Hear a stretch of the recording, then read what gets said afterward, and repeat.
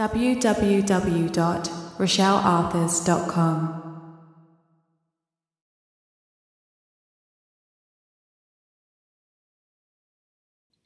Hi guys and welcome to my Logic Pro X tutorial.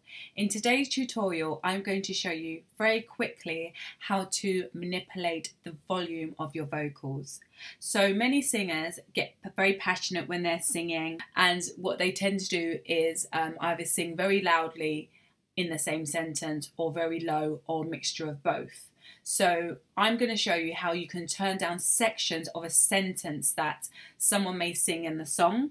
I guess gospel singers that will become very passionate and so passionate that their volume becomes louder and louder and louder. Um, and then it, it, can sometimes affect how the track is flowing. So you might want to just turn down those sections where they sounded very loud to a nicer uh, level of volume. So you're probably thinking, how do I do this? So this is a track called um, Standing in the Rain. This is a slow interlude that I done many, many years ago. And we're going to use this as an example of how you can do this. So here we have the hook over. That basically means um, I'm singing over parts of the main hook. Um, and these are all my harmonies. And uh, these are the two main uh, hook leads um, which are panned left and right, and this is the main hook over. I'm going to first of all play it to you so you can get a sense of how it sounds. And to play it, you just press spacebar. I don't know you're standing in the rain. Knocking my door down? Oh, I can't believe that you left me in this pain. Oh, I loved you just so bad. Oh, I gave you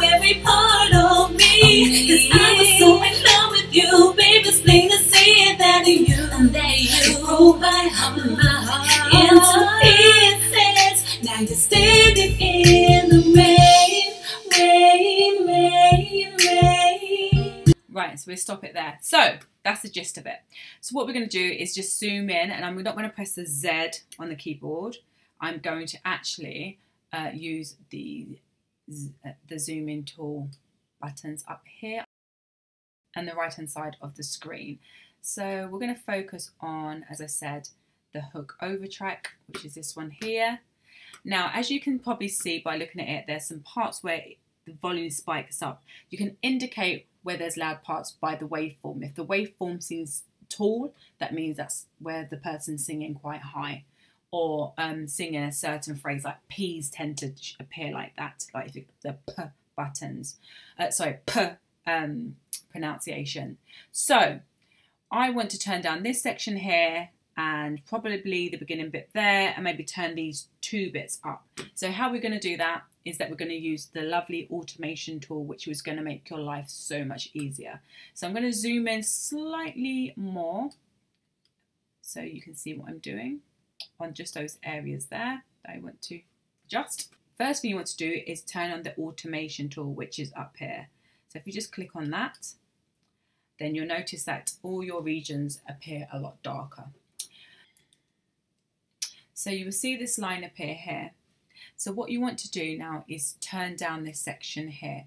So I'm going to double click on the line, two dots on either side of this eh, region that I want to turn down.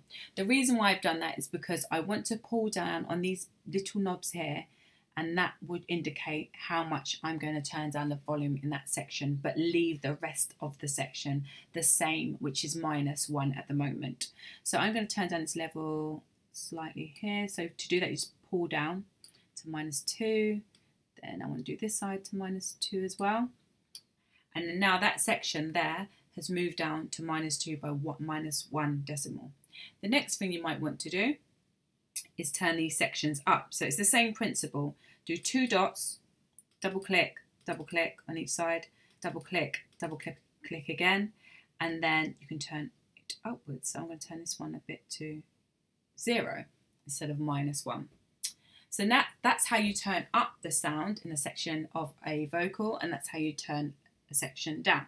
So then once you've done that, you can actually turn off the automation button because it's all set and read by the automation tool.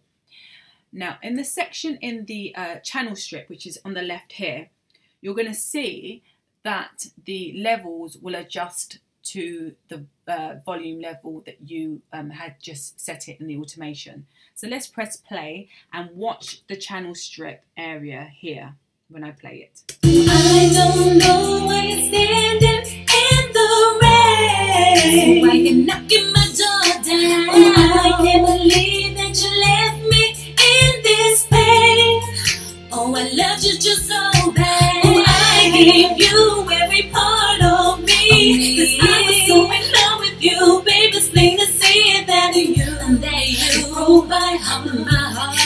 So you can see that that just moved to what I set the volume to be. So that's how simple it is to turn up and down um, vocals.